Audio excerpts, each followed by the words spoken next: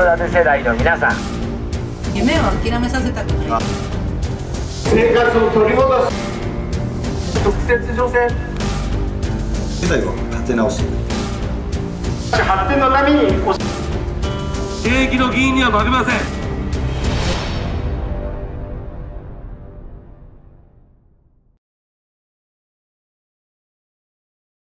わかりました。いや、ちょ、こあこしてください。あそっか。あ、これ聞いてみて、じゃあ。YouTube で今日突撃インタビューしたいんですけどどこで演説してますか？ラコって。新しい大財資銀行。何時ですか？10時15分です。ありがとうございます。はいありがとうございます。県立候補ですね。笠原さんにちょっとインタビューしていきたいと思います。はい。ということでよろしくお願いします。よよろしくお願いします。ろしくお願いします。質問なんですけどえーっと立候補した理由というのをはいはい。まあ、10年前から、はい。まあ、県政で仕事させてもらってますんでまだまだやり足りないことがいっぱいありますからもっとこはいの南区、新潟県を元気にしていきたいなっていうのがこの4期目の立候補あ4期目。はい。ちなみにどういうふうに元気にしていきたいとかなんかありますか？南区はやっぱり農業が盛んですから、はい。本当に魅力的な農産物がたくさんありますよね、うん。そういったものをたくさんいろんなところにこう広げていったりブランド価値を高めたりあもう美味しいものがたくさんありますから、はい。そういったものをこう元気にしていきたいなと今若者がやっぱ投票率があんまないよねっていうのは話題になってる部分があるんですけど投票に行きたくなるようなお言葉がありましたのでお言葉は。いあの政治って皆様にお結構伝えをさ硬いせていただきイメージがます。どうぞあるんですけど、皆様ご清聴いただきますようよろしくお願いを申し上げます。まあ、ここの土地もなかなかこの開発ができない土地だ。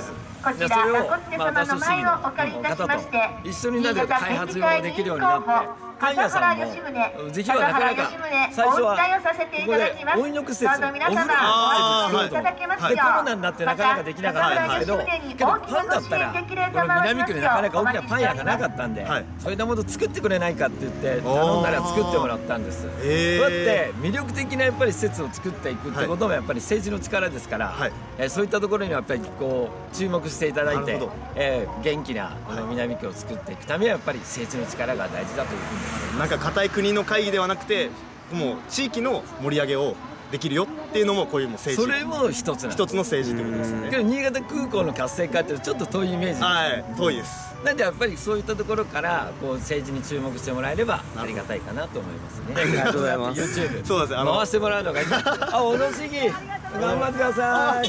後で行きます。ありがとうございます。お互い頑張りましょう。おおいいっすね。なんかお互い頑張りましょう。いやそうなのよ。いつも連携してますからそうです。党はご一緒でしたっけ？別でしたっけ？え一緒です。一緒です。自民党小野でございます。はい、ちょっとね大喜利っぽいのをちょっとやっていただこうかなとあのこんな議員は嫌だっていうのをちょっといただきたいんですけど、えちょっと一つ回答いいですか？こんな議員は嫌だみたいな。こんなに難しいですよね。難しい。ね。こんな議員は嫌だ。どうぞ。偉そうな人。偉そうあな人。例えば誰？テレビ見てると出てきません？そうですね。偉そうもらいました。確かにそれは共感できますね。はい。じゃあ最後にあのー今日見てくださる方に皆さんにあのメッセージをいただいてもいいですか？多分今日あの若い皆さんだと思いますけど若い皆さん投票率低いですから ぜひとも行っていただくと、まあ、いろんな可能性南区も広がっていきますしまた新潟県も本当にいいものがあって多くの方に注目をされる、まあ、県になっておりますからえぜひとも皆さん投票でやっぱり政治が変わって地域が変わりますからもう投票率上げるために協力してもらいたいなと思います。私も精一杯頑張っていきますんで、えー政治に注目してください。よろしくお願いします。今日はありがとうございます。ありがとうございました。あ。りがとうございました。ありがとうございました。失礼しました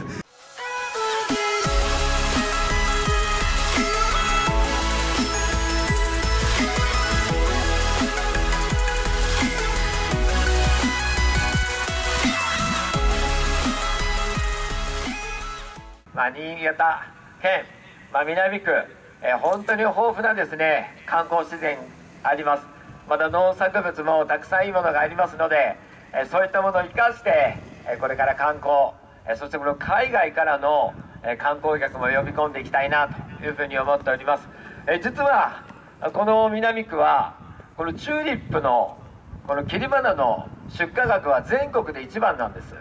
えなかなか皆さん方わからないかと思うんですけども本当にあのチューリップっていうのは新潟県の県にもなってますし、えー、この出荷額は南区が1位ということですからどんどんこのチューリップを使って盛り上げていきたいというふうに思っております。ただあの施設園芸でハウスの中で切り花作ってますから、え、なかなかこの皆様方に見ていただいて楽しむ、まあ、チューリップの場所が少ないのが問題でありますけども、まあ、花を楽しみそして今このこれからですけども今いちごが最盛期になってまいりました。いちご姫ってすごく柔らかくて美味しいんですけど輸送に向かないので多くの方に食べていただくことがちょっと難しいんです。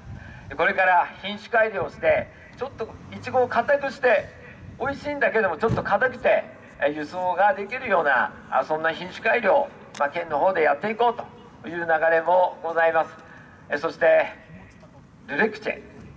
この周辺では当たり前に食べられているものでありますけども首都圏に行きますと2割ぐらいしかウレクチェの名前知りません。えなのでやっぱりこのウレクチェの名前を全国に広げて美味しいものなんだと。で手に取っていただく、まあ、それが私の狙いであります、まあ、新潟県のブランド条例昨年作らせていただきました。8品目が今選定されまして今新潟県が全国にプロモーションをかけていく。美味しいものの選挙をしていこうとか。あいろんな仕掛けがありますけども、えその中に入っているのはこの白根から出たウレクチェが入っています。